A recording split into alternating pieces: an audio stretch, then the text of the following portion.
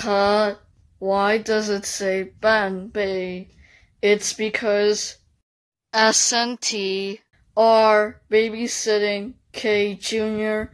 because K has an appointment today. Bye. We'll be back soon to check you. Okay.